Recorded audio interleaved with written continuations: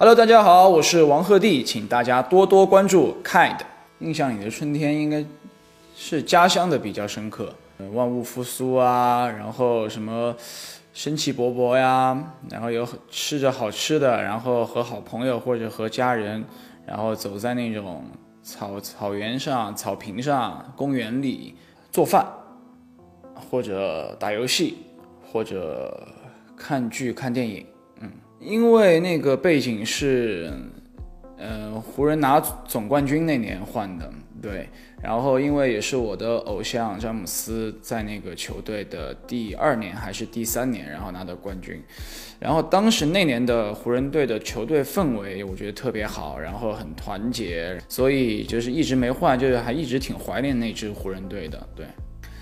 我觉得就是认识越来越多的新的朋友啊，各行各业优秀的朋友，对，然后包括在星期六里面认识的这些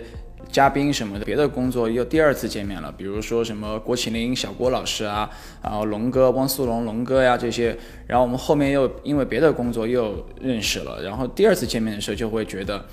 呃，就迅速的拉近了就是彼此之间的这个关系的这种感觉一样。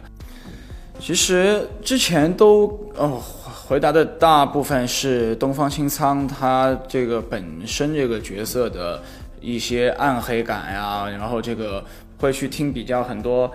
暗黑一点的风格的音乐啊，那种交响乐之类的，反正就是会去找这种魔尊的感觉。但是其实演东方青苍还有一个很难的点是。他得演小兰花，就是这是一个很有趣、很有意思一个点，就是在剧情里面，呃，男生女生会互换身体，就是所以有时候我会去演，呃，虞书欣饰演的小兰花，就是在一个很酷、很很很拽的一个就是那个外形上，但是演的其实是一个呃女特别可爱的女生这种，我觉得这个也是一个挺难也蛮有趣的一个点，对。嗯，我觉得东方青苍的话会是更直接一点的，就更他的很多东西都很纯粹，就爱恨，然后这个情绪，他的嗯所表达的东西都是很简单、很直接的，对。然后我觉得就是，其实他抛开他是一个什么魔尊的这种什么这种 title 身份，他其实是一个很率真的大男孩的那种感觉，对。然后萧铎就浮屠缘萧铎的话，其实反而是一个更成熟、更有一成熟男人魅力的一个这样的角色。他就是会比较心思会比较细腻一些，然后会比较丰富一些。对，然后可能包括设定上也是吧，就是一个是神话的，一个是普通人的，所以在普通人的世界里面，这些东西就会更加的难和更加的丰富，就是心思缜密啊。这些东西会觉得萧铎就会给人那种成熟男人的一些魅力吧，会具备一些。嗯，嗯，那要看什么戏，对什么类型的戏。如果是那种比较大的情绪戏啊，这种比较悲的戏，就会把自己自闭起来，然后听音乐，嗯，然后就尽量不和人交流。但如果是开心欢脱的戏的话，就是会比较享受现场的一个氛围，和对手们啊，和导演啊，和现场的工作人员都是一个很欢乐，就是有说有笑的一个这样的氛围，然后让自己放轻松的在那个氛围里面。嗯，我觉得我自己更能够深度的去认知自己的角色和认知这个剧本。对我觉得主要是对自己角色的理解会更加的，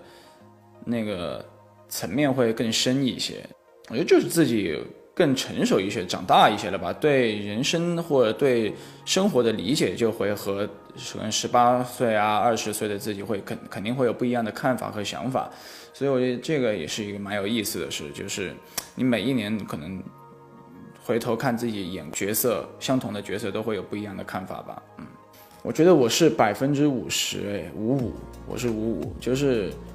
有时候我觉得我大部分时候还是理智的，就是偏理智一些的。但是生活好像或者无论干任何事吧，我觉得无论干任何事，面对挑战也好，或者是嗯面对你想要争取的东西也好，我觉得这种时候还是要有冲动在的。因为有时候没有冲动，可能就干不成这件事情，或者说干不了这些事情。所以我觉得我是该冲动的时候就会冲动，对。但其实平时大部分自己还是一个比较理智的状态。说个眼前的吧，就希望我的这些待播戏赶紧和大家见面。嗯，Hello，我是王鹤棣，今天给大家送上一波小福利，当当，就是这款海星恋人海藻精华护手霜。不管是木质玫瑰香还是清新花果香，都很适合夏天，味道好闻，轻薄不油腻。希望这款蕴含海藻精华的香氛护手霜，让你的心情透透气。关注这条微博，快来 get 吧！